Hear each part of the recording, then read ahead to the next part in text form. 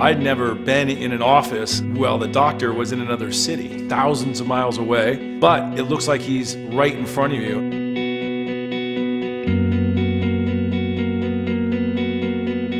It all started 55 years ago with my grandfather, Roger Zaldivar. He had this idea that he can establish himself in Mendoza to have a high quality clinic for the world.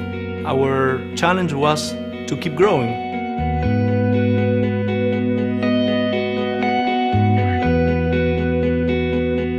In the future, doctors have to go to patients, and the best way is with technology. We have a clinic in Buenos Aires. I can check the patient in real time, and then we have a, just a conversation face to face where we define what's the diagnostic and how we can solve their problem. The technology was amazing, I think this is the evolution of telemedicine. It's cheaper, you don't have to travel. Just last week, I was told they had a 93 year old woman who obviously wasn't up to travel, but was able to have the doctor right there through telepresence looking at her eyes through the machines. We are thinking in expansion. We are planning to launch 15 centers in Argentina and in Paraguay and Bolivia. Based on remote consultations, we are willing to see more patients.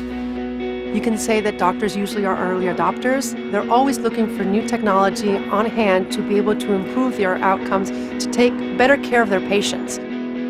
Apenas salí de acá a la vereda, este, ver los verdes, eh, me emociona. Ver el degradé de verdes que había en, en las, las veredas. I was looking at the mountains of the Andes this weekend and there's snow covered tops of the mountains. It was like a dirty windshield that all of a sudden got cleaned.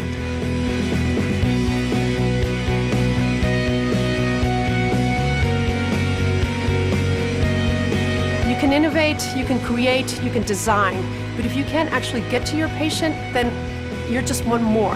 And that's what makes us different. That's why we like to be pioneers.